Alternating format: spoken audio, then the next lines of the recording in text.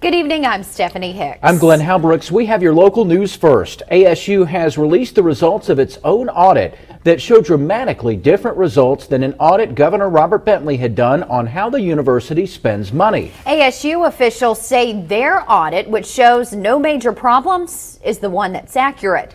New at 10, reporter Ashley Thompson joins us live with the big story on Alabama News Network.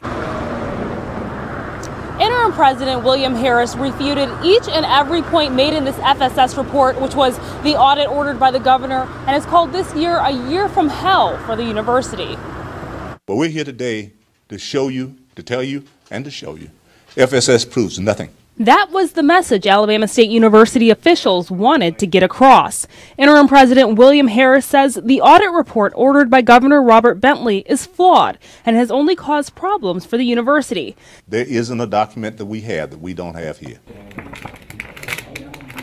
To summarize the response, ASU now says the university conducts business with the highest level of integrity and says they have found no conflicts of interest pertaining to board members. We have reviewed every transaction we have had.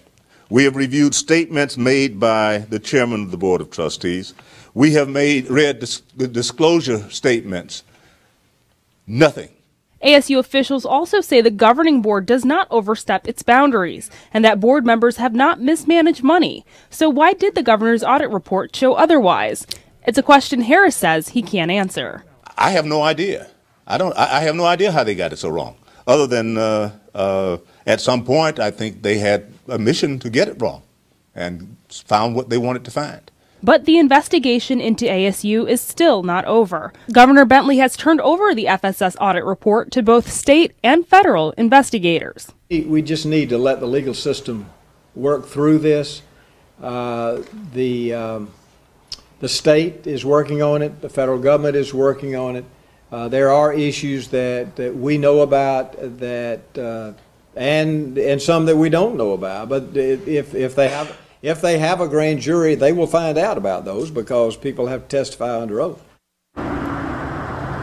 Now, another allegation in the governor's audit pointed to a breach of contract with Medicaid, saying the university overspent nearly a million dollars. ASU is refuting this, and ASU reps and Medicaid reps are slated to discuss this next month. Stephanie? All right, thanks so much, Ashley. Now, ASU officials have now handed their response over to SACS, the Southern Association of Colleges and Schools. SACS requested information from ASU in, uh, in October after the governor's audit findings were